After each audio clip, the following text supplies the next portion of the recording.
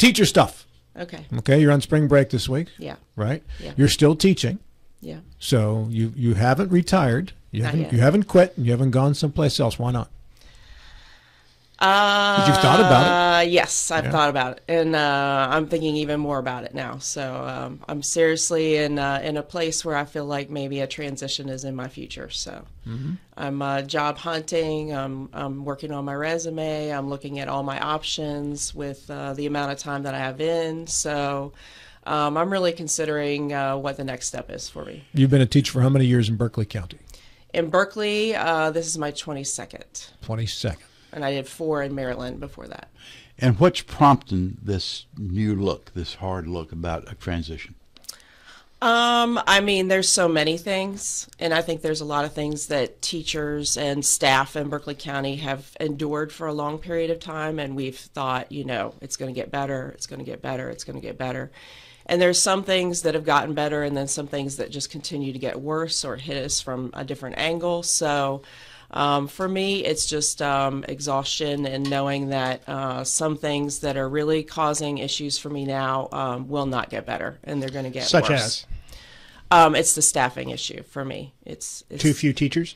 too few uh, people um, in the buildings, too few subs. When you uh, do need a day off, you are pretty sure you're not going to find someone. Um, even a couple of times when I had appointments or doctor's appointments this year, I had a sub and then the sub canceled at the last minute. So when that happens, the staff has to pick up the slack, and you feel guilty, you know, as a staff member um, taking your time when you know you need it, but um, you know you're putting it on others. Um, it used to be years ago I would cover um, all my planning time maybe twice a year. What what does that mean, Julie? That means uh, when I have a planning period, which is for me prep time, um, I unload my kilns, grade papers, return parent phone calls, whatever it is I need to do during the school day. Um, that time is gone because now I have to cover another class. And is it another class that you are trained for on how to teach it? No, because I, um, I mean, I'm certified art, so there is no other art teacher in the building. So I'm filling in for math, social studies, a different grade, you know, special ed. And what what do you do in those classes if you're not trained to teach them? Are you educated enough to get by? In what grades are we talking about first and foremost? Well, I teach middle school, so I Okay. teach uh, anyone from from say 11 to 14. Okay, so if you have to go and cover a 12 year old's math class, can you get by out of the math book with, without having a math degree? I mean, the teacher, you know, I would leave plans, and and so would the other teacher, you know. So there are plans there. It's just that um, But if a kid says to you, "I don't understand how to do this problem," can you?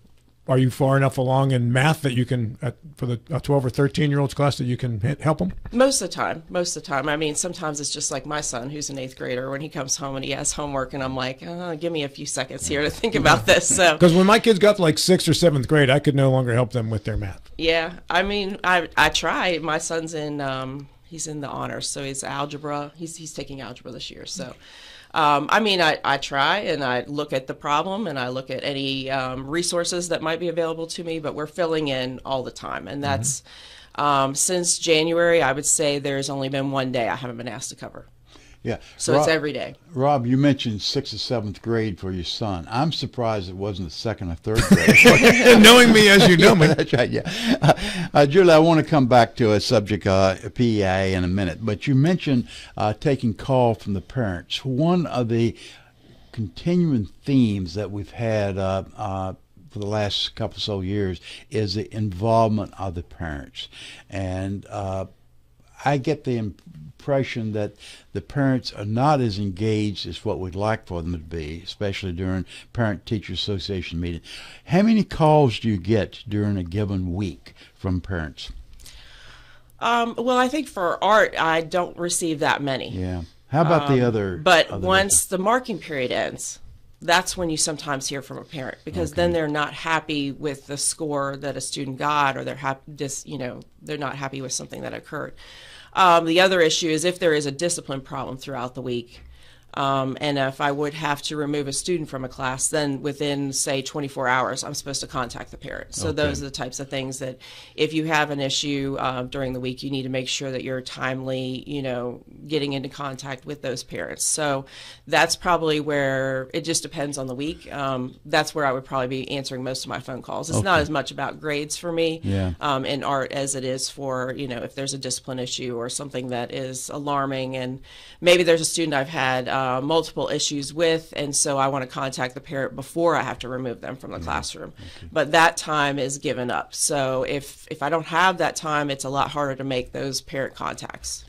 Uh, during this session, you and I talked a couple of occasions, uh, and at the time you were somewhat distressed with the direction the PEIA discussion was going. Uh, that was kind of the early stage. Now that everything has been enacted, it's been signed by the uh, by the governor, are you any more relaxed, any more happy than what you were before, or are you still somewhat disturbed? Um, I would say that PEIA is definitely one of the reasons why I'm also considering a, a new career. I'm going to have to look at um, what it's going to cost my family. I don't think with the raise, um, with the raise in the insurance and with the spousal, um, I guess, penalty, that it's probably going to work in my favor. I think either way, um, my family is going to be making less money as a family um, because of the PEIA changes. So um, I have to weigh those those costs. I mean, it's not just about me; it's about my family's income. So, if I pay the penalty for my spouse, um, it's going to cost us, you know, at least seventeen hundred dollars um, extra. They they haven't told me exactly what my twenty six percent is going to be. Also, that I'm increasing on PEIA. So we're going to be looking at what my husband's um, insurance is going to be. Either way, I think we're looking at, you know, as an as a family, our income is going down. You say spousal penalty. You're talking about the insurance that you'd have to pick up the insurance at 147 dollars. Yes. Uh, a month. Okay. Yes. And uh, the uh, I we hear from the legislators said that with the uh, 22 percent increase, and I think you got what 23, 2400 uh, dollar increase as well. Uh, uh, those that would offset any any penalties you had from the premium increase and the spousal insurance. You're saying that's not the case. Well, I, I have to find out for sure. Um, I do know that the spousal penalty is going to be about seventeen hundred dollars plus change. Um, so you have to deduct from the twenty three hundred that uh, right away, and then I have to see how much the it says about twenty six percent. Mine's supposed to be going up um, for family coverage. So for me to still cover my children, I'm definitely going up 26%. Plus, I get a step increase for being, you know, a 23 year employee versus, you know, a 22 year employee. So um, I'm not sure that I'm going to make any money at all. I think I think as a family, our our income monthly is probably going down. Yes. How long have you worked for the uh, education system as a teacher? Uh, 26. 26 And years. What is retirement? What's full retirement? Um, I need to get to uh, 30 or f- 30 and 55. So, So I gather what you're saying. You're prepared to give away the, the retirement because of your frustration with the the staffing issues and the uh, the uh, the financial penalty you're getting from PEIA. Uh, I'm willing to look at that this summer. I'm, I'm thinking about it because um, I have I have retirement. I'm in um, the other system. I don't know what they call it, but mine's more like the 401k. So I was vested after 12 years, and a lot of teachers um, got out of that system and bought back into the state system. Um, I did not um, because I wasn't sure if I could make it to 30.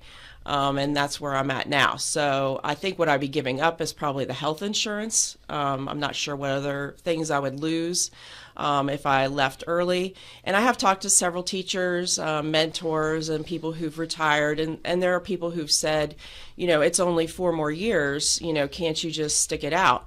Um, I think that you know maybe if I found I'll be, I'll be looking at job postings. I've looked at uh, other state jobs because there's plenty of state jobs that are open also. Um, I've looked at you know colleges. I've looked at a lot of things that I might be qualified for. So if there's maybe another avenue for me to finish out the four years, I might consider that.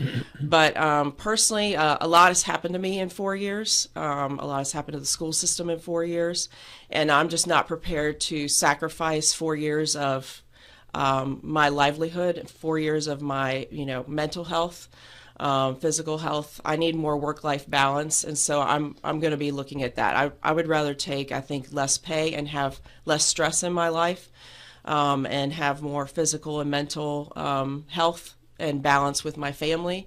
So those are all the things I'm going to be looking at and weighing this summer, and and kind of looking at what my options are. So that kind of circles back to what you said earlier. The staffing is a big issue for you, more so than the the pay side. I think that's the thing that um, many teachers I talk to and, and administrators, uh, we are very, very concerned about the staffing issue. And I think Is if- that a matter of funding or a matter of applications? um, I think it's a matter of probably pay in the Eastern Panhandle. So there are Um, open positions that are not being filled. Is that the source of the staffing? Yes, I mean uh, that is one thing that I just prepared for you guys in case you wanted to see. Because right now we post jobs for two weeks, right, and so they're open and people can apply. And right now we have the job openings out there for say next year. We're hiring for next year. The jobs that are posted are the ones that are in like say long-term jobs right now. Like so, if I have a math teacher in my building who's not certified and she's a long-term sub or a perm sub, uh, that job is going to be posted because we're going to try and get an applicant who is certified first. And then come summertime, if those jobs aren't filled, then we'll start looking at our perm sub situation. So for this two weeks, we have um, 289 professional positions open. In Berkeley County? In Berkeley Out of, County. uh, out of how many? Well, I, I don't know. There's just 289 positions that people can now apply for for next year. In the schools. Yes, in Berkeley County. How many? Te- is this uh, teachers or staffers or? Uh, Um, it's Cafeteria? teachers. It's mostly teachers, and Okay. um, also I looked at like counselors. There's a- 11 counselor positions open right Mm-hmm. now that you could apply for. Um, there's 20 math jobs, so 20 math positions that are not, you know, that are open already for next year. Um, there are 32 elementary jobs. So How many elementary schools are there? Uh, I want to. I, I, I honestly can't remember. okay. How many teachers do we have in Berkeley County? I, I'm not positive. I thought we were around 3,000 Okay. um, employees. I'm trying. So, oh, employees. I'm, Yeah. What I'm trying to do, Julie, is get a uh, percentage. Well, there's some of- BOE members listening, so if any of you folks Yeah. who are BOE members listening Yeah. know the answers, post them. I know with the correction system, uh, we see around 40% vacancy. And I, I suspect it's not that high with the education system. But I'd be curious to see what percent of our staff, be they teachers or support staff, are actually vacant. If we're talking about 10 to 15%, that's an alarming number. well, I think another alarming number is uh, the jobs that are the hardest to fill, Yeah. um, and and that's going to be special ed, and we have 102 special ed jobs open. 102 for next year, One and that's 102. just for Jackie that's for this two weeks. answered the teacher question. She said there's about 1,300 teachers. Oh, you said 289 are posted now. So Wow. And me do for math. That's and for um, the people in the buildings who understand those numbers, that's that's extremely alarming because I already know about jobs that aren't even posted yet. You know, jobs that either somebody has resigned from or somebody is going to resign from. Um, those are just the job postings for two weeks. Sometimes jobs aren't posted because, say, a principal's not going to be around to interview. Um, I think the job postings for two weeks should go down today, and then we get new job postings um, tomorrow. It's usually Tuesdays. So there may be some that close just so principals can uh, do some interviews in the next two weeks, but then there's going to be new jobs that are posted. So I've looked at what's on there. It's like six pages worth of jobs. Um, I'll be looking um, tomorrow to see if there's more jobs and, and another job that I might be interested in. a snapshot right now, if my math's right, something like 23% vacancy of just for this teachers. two weeks, yeah. for this, for this yeah, two weeks. Yeah. you've been a teacher in the Berkeley County School System 22 years. Yes. What is your salary? Um, I'm right about 60. 60. Does that include the extra money you get from working extra hours for your uh, planning time and covering other duties? No, that does not. Um, what it does include is the fact that I have a master's degree plus 30. So I have 30 additional credit hours. So someone who has a master's degree or somebody who's been in 22 years and only has a bachelor's is going to be making, you know, lower than that. Okay, so you're around 60. You'll get a $2,300 raise, and you've not yet been able to do the math as to how much of that gets netted out because of PEIA. Yeah, we received an email saying we should be getting information soon, but um, you know, open enrollment for us is April, so um, I need to know some things by the end of April so that I can start looking at what my options are. You got an email from who? You're talking about getting information to get to know more about PEIA? Um, from our from central office because it's open enrollment time. So it's time it's time that we would make changes to our benefits. So I um, I know that this year we are going to have to you know fill out an affidavit for our spouse if we keep them on. Um, so there's there's things that are that change in April because we're shopping around for our benefits or not. Um, if I decide to just go on my husband's insurance, you know, now's the time that I would decide that. So those are the decisions I have to make in April. So we're supposed to be getting some kind of information coming soon about the how the 26% I think is going to affect me. And you said the 26%, you're talking about a 26% pr- projected increase in premium? Yes. Okay, but, but I understand. Regardless of the spouse. I'm, I'm told that's the average, but that doesn't apply to everybody.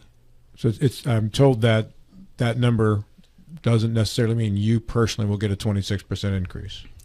That's you may, possible, you may, you, you yeah, may not. Yeah, I think I have to weigh that first. I have to think about, you know, and hopefully that I'm going to get a better projection for how much that is going to be for me. What are your current monthly premiums with PEIA? Any idea? Uh, it's been a while since I looked, so um, I, I'm. Those are all the things that I'm going to be weighing. I need to look at the fine-tuned numbers between my husband and me, and um, how much it's going up and what it's going to be. John. Is the shortage of teachers a, a national thing? Uh, Yes. like, so it's not just Berkeley County that is, or It is not just West Virginia that is having a Yeah. teacher shortage. It is it is a national thing, but um, you know, when you look at here, like I just started dabbling in uh, March when I maybe had talked to Bill and I was frustrated over PEIA. I was frustrated about um, the internet situation and really just at the end of my rope at that point.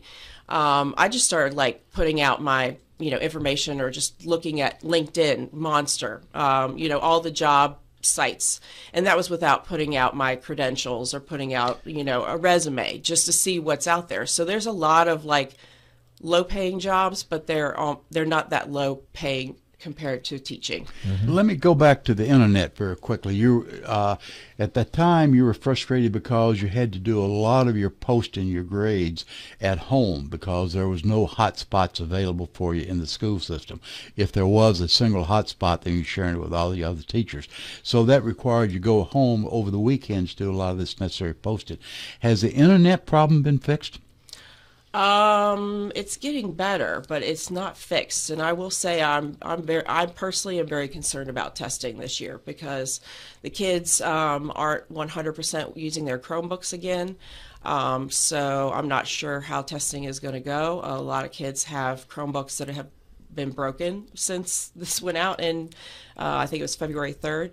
Um, so I'm not sure how that's all going to go. Uh, it's definitely that's part of the main problem is just the the amount of work that I'm expected to do on my own time. Um, outside of the classroom. If I work two or three jobs, which I'm used to doing, I, I used to work two or three jobs prior to having children, um, including the teaching job. And so I'm a hard worker, so I'm not worried about that. But I would rather get paid overtime um, at two or three jobs and end up making more money and still not have the stress that I have, um, or be able to know that when I leave work, my time is my time with my family and it's not something that I'm going to have to do.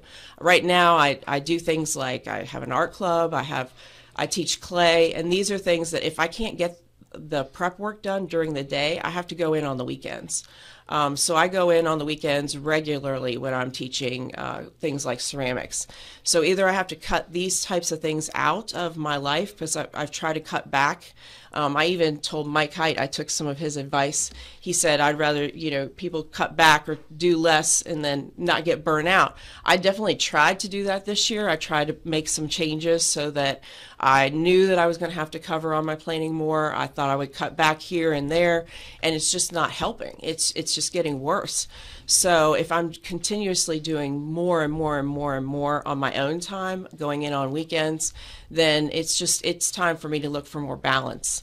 There's a lot of trauma in the schools, um, but I think teachers have also received and staff have had a lot, a lot of, of, trauma. Trauma. What, what do you mean by trauma? Kids have been through a lot of trauma since since COVID, and, um, you know, that shows up in a lot of ways. And we're trying to do things like trauma informed training so that teachers are more aware of when kids have outbursts and things like that, you know, that this is their trauma coming out. But, you know, there's only so much that people can be expected to absorb in terms of trauma when when we ourselves are traumatized over the last four years you know things that we've been through um, and then you just constantly have to just accept the trauma that you're receiving from kids yeah. because of what they're going through it's just it's a lot it's a lot to put on on your staff and it's only so long before that affects them mentally and yeah. so i need i need a little more balance i think Jackie Long says the internet has been fixed. Uh, the internet problem has been fixed. Uh, has it been, Julie? I caught you in mid gulp there. I would not say it's back up to where it was for me anyway. Okay. Are the other teachers? I think you're being polite. Yeah. I assume you're not alone. Uh, or is this the majority of the teachers still uh, feeling the same level of frustration you are? I mean, a lot of the people that I talk to, yeah. yes. Mm-hmm. Are you guys and that's what's out? worrisome. Are you fried? I am. I am a little bit. Yeah. Um, that's why I'm like maybe it's I need to find another position. Um, and it's it's a shame. I love my coworkers. I love my my administration in my building right now is the best administration I've ever had. Working together as a team. Um, I love the building that I have, like the, the, program. You know, I used to fight over like getting funding. Now I have funding for my program. Um, I've worked my way up to where I have supplies that I need, but I just I just can't keep doing this. It's it's always something that is worse, something that hits you from the wrong angle, you know, and you just can't keep going home depleted. I talk to people who go home and immediately they need to take a nap after school because they are so mentally drained from all the decision making, problem solving. It's overload, and and if you have to constantly recharge in that way um, before you can even even you know enjoy your family, it's it's tough. You know, I'm ready to have more family time. John, is COVID the tipping point? I mean, life is going to be divided before and after COVID. Is that kind of when things went bad? Was that the beginning of the bad times? You said it's gotten a lot worse than it used to be. Uh, COVID was definitely a huge catalyst, um, especially for middle school kids. Uh, some of the behaviors, some of the things that we're seeing, the problems in the schools, the discipline. Um, it's Is it socialization issues, living in isolation for two years that, and trying to get back with kids, or um, it, some well, of it is that. I think some of it is um, parents disengaged, um, whether it's because they were working and kids were at home unsupervised. Um, they just didn't know what was going on with their kids, what they were looking at, what they're watching, what they're doing. Uh, there's there's a lot of severe behaviors uh, coming out of the kids these days. And if, you know, I was looking at, well, when would I wait to see a group of kids that, you know, hasn't been dealing with this? I mean, that's like this year's kindergartners. I can't wait I can't wait eight more years to see a group of kids that haven't been through COVID. Mm-hmm. Um, so it's it's tough. Um, the things that the police have been work, you know involved with for security, you know, I, we need more of that. I think it's been better this year. You know, I've seen uh, the sheriff's department brought the drug dogs in the buildings. I wish we could see them like more than once a year. Um, just to th- sniff out drugs or to educate the kids on to to look for drugs. Yeah in the middle school. Yes, yes. And do you find that kids are they're more? You say acting out. Are we talking about violence, either capital V or lowercase v, among the kids? Is that that the kind of acting out?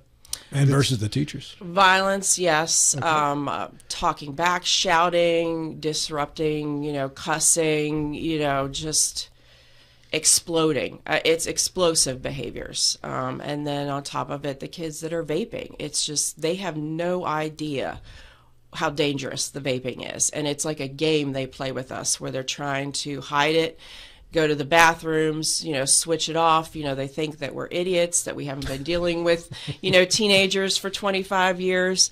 So it's always like, uh, it's almost like a shell game. They're almost, they're always trying to outsmart the adults.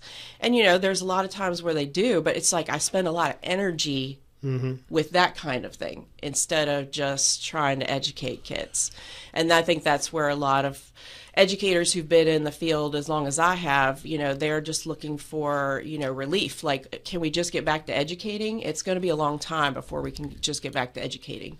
And you can see that we need we need counselors, we we, we need social workers, we need, uh, you know, more presence with the police. We need support for the discipline. I am hopeful that the discipline, uh, the the law that was changed with the discipline, that is the one law that I am hopeful is going to help, where we can start disciplining the way we need to, regardless of accommodations or things like that. Because one of the disservices I've always felt in middle school that we do to kids is we accommodate, we accommodate, we we excuse, we we you know give them support, but at some point they turn 18 and, and no one is going to accommodate them.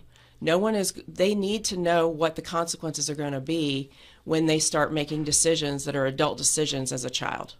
Uh, that discipline bill, by the way, was HB 2890. I got a text from Mike Hornby uh, about that. And uh, you should know that Dylan Bishop, our producer, subbed for you. Yes, way, he did. week. Oh, that's who. Yeah, that was, Yeah. that was Dylan. I hope he had an enjoyable afternoon. It was, yeah, it was a doctor's appointment I had to take off for my son, and uh, I really didn't think I was going to get a sub. I had put it in earlier in the week, even though it was a sick day, just Yes. because it was an appointment. We went out without news that day, but that's fine. As long as you can take your son to the doctor, you know, he did whatever. a great job. I, he seemed to have a good day. Yeah. So from hey, from the classroom to the newsroom. Dylan Bishop does it all. Julie, good to see you again, good to see you, Rob. and uh, I wish you the best going forward here. Whatever